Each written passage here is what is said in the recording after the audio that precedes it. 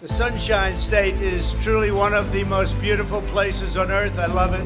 We're here today to celebrate our incredible record of natural conservation and environmental protection. My administration is proving every day that we can improve our environment while creating millions of high paying jobs. The contrast between our vision and the radical left has never been more clear.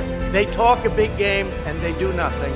My administration is focused on delivering real results We've seen a significant drop in air pollution since 2017 for the first time in nearly 30 years. I will sign a presidential order extending the moratorium on offshore drilling on Florida's Gulf Coast and expanding it to Florida's Atlantic coast as well as the coasts of Georgia and South Carolina.